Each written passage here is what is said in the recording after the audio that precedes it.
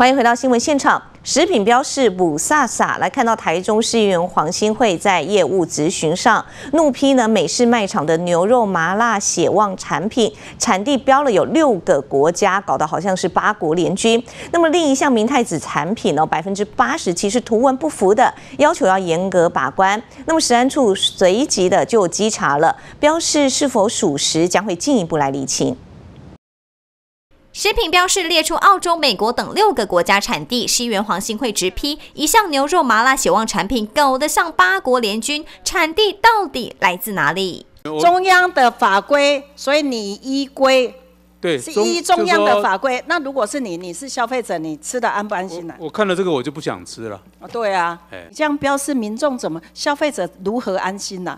哇，这个八国联军的哪一国都都写上去，反正只要一点点沾上边都写了，反正写的没无白害都丢了吼，对吧？不然一无下点都有罪了，好，所以爱写出来。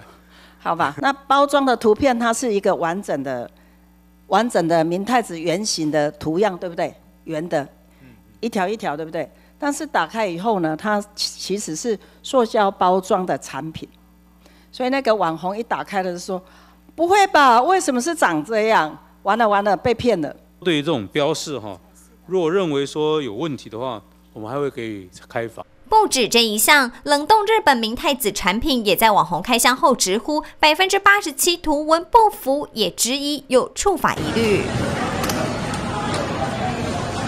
稽查人员逐一检查食品标示，食安处已初步了解该产品使用多种牛肉，可能涉及多个国别、各分公司制作贩售。依食安法需依照成分多寡依序标示产地，该产品标示是否属实将进一步厘清。依序它的一个含量的多寡就这样子排列下来。那至于说它这个产品呢，里面到底是不是含有这么七国八国的一个肉品呢？那我们昨天哈已经呃到呃卖场里头哈去实地的一个。的稽查，我们后续三处会进行后续的一个呃厘清跟裁处，要不要多严格一点？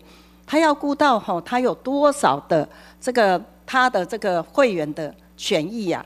那你要不要出手一下？哦，虽然他是美商公司很大了哈。上次对于他们那个野果不是草莓果的有 A 肝的问题，我们也都有重罚过两家。对啊，是嘛？他依然没有改善嘛，对不对？那食安的部分呢？我们是觉得魔鬼藏在细节中呢，所以未来对于各大卖场，也希望卫生局呢多多的去加强。